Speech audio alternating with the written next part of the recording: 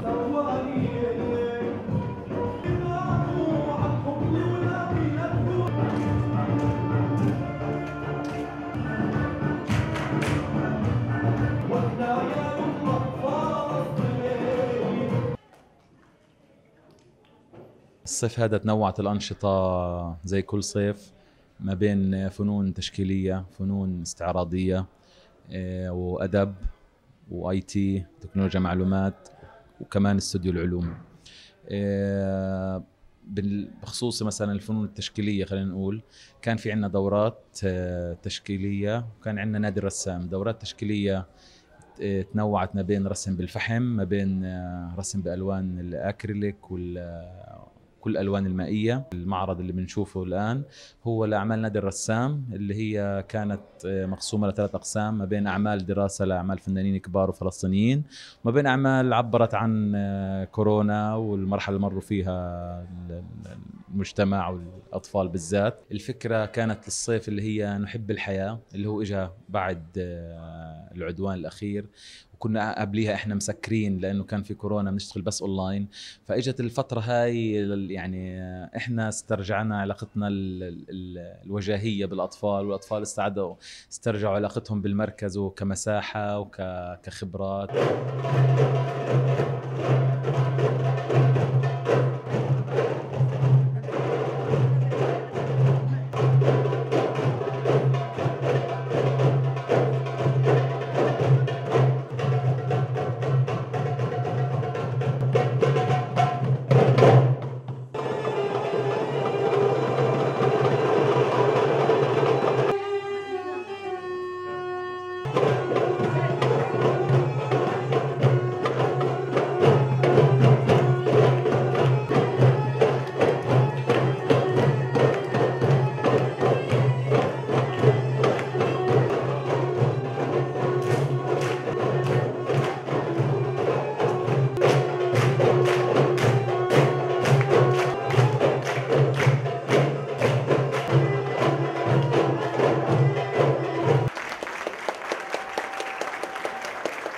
هذه كانت دورة للدربكة للإيقاع. للطبلة تحديدا آه، بنعلم فيها الأطفال أنهم كيف يبنوا الإيقاعات كيف يتعلموا الأوزان كيف يحسوا بالنبض بشكل عام. أول إشي الإيقاع بشكل عام هو موجود آه، في جسد الإنسان. آه، طبعا إحنا بننمي هذه القدرة عند الأطفال أنهم كيف يتعلموا يبنوا الوزن ويعزفوا الإيقاعات العربية.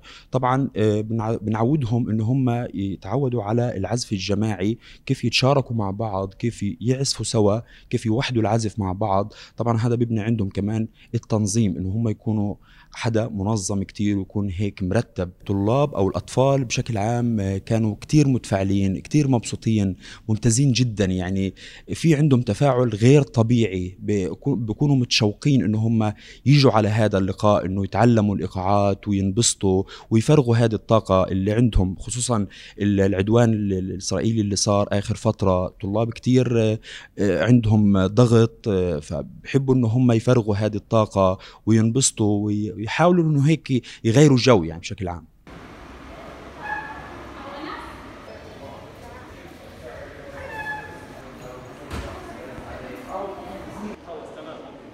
يلا شباب عشان قبل ما أنسى حكت لي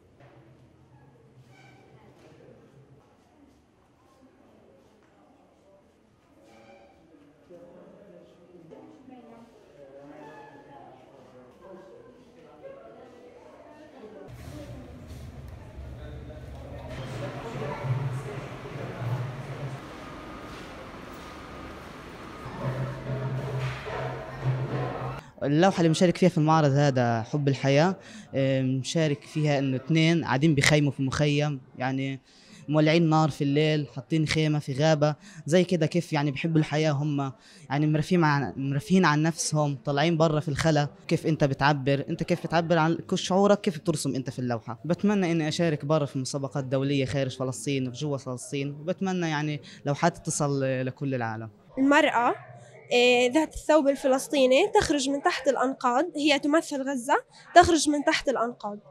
اللوحة الثانية بتعبر عن السلام الداخلي اللي بتنثر الأنثى من داخلها وتطلع نحو العالم. على شكل فراشات الفراشات بتعبر عن الألم الأمل والسلام والسعادة.